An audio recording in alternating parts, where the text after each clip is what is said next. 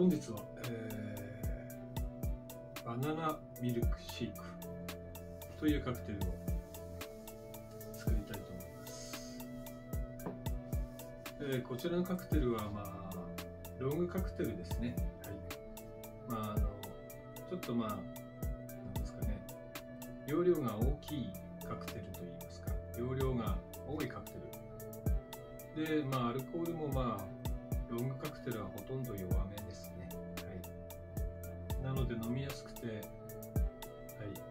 リンク感覚で飲めるカクテルになってます。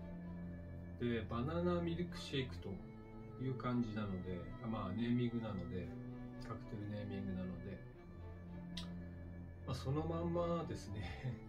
そのままです。はい。バナナ。まあ、バナナはあれなんですけど、リキュールが入るんですけど、まあ、こちらだけですね。リキュール、お酒自体はこのバナナリキュールが入ります。で、ミルク、まあ、牛乳ですね。牛乳入れて、そしてまあ隠し味というか、まあなんというか、生クリームもほんの少し入ります。はい、で、まあ、バナナミルクシェイクなので、はい、シェイクして、はい、こう泡立てて、お出しするって感じなんですけど、はいまあ、とても美味しいカクテルだと思いますね。で早速、えー、作っていきます。で、えー、まあちょっとシェイクするんでで容量もまあまあ大きい、まあ、入れるシェイクする材料自体がまあ多いので、はい、ちょっと大きめのシェイカーを使って作っていきたいと思います。でちょっと大きめのシェイカーを出します。で、えー、まずバナナリキュールを入れますシェイカーに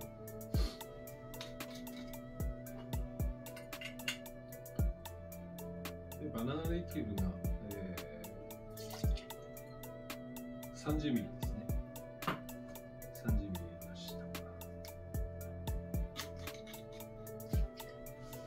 そして次、牛乳ですね。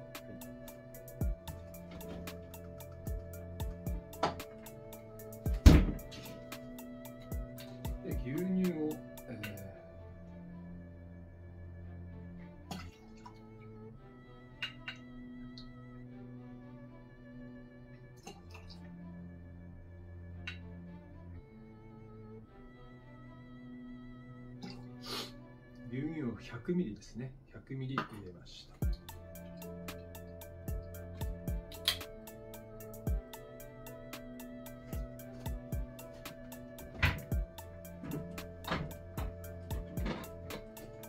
そして、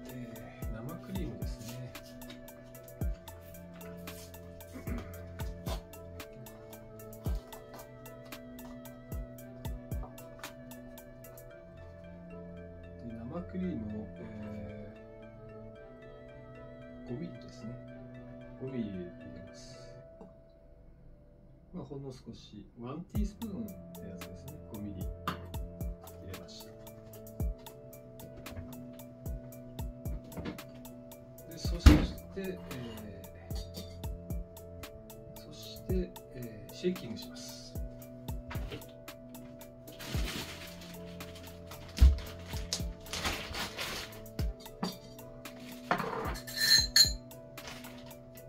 シェイキングするので、えー、丸氷ですね。丸氷を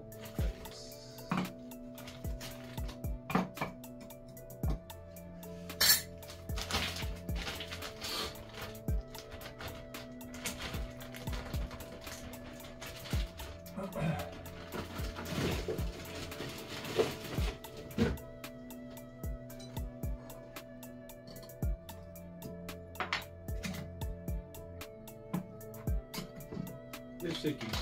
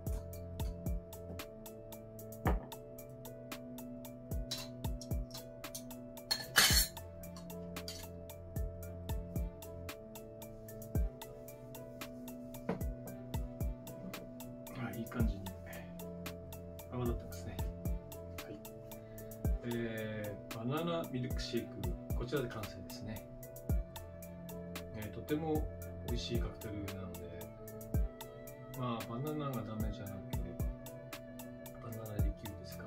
ダメじゃなければすごい飲みやすくてまあ本当にジュースあ失礼しました。であれですね。こちらお好みなんですけどココアパウダーですね。ココアパウダーをこう振りかけてあげる感じですね。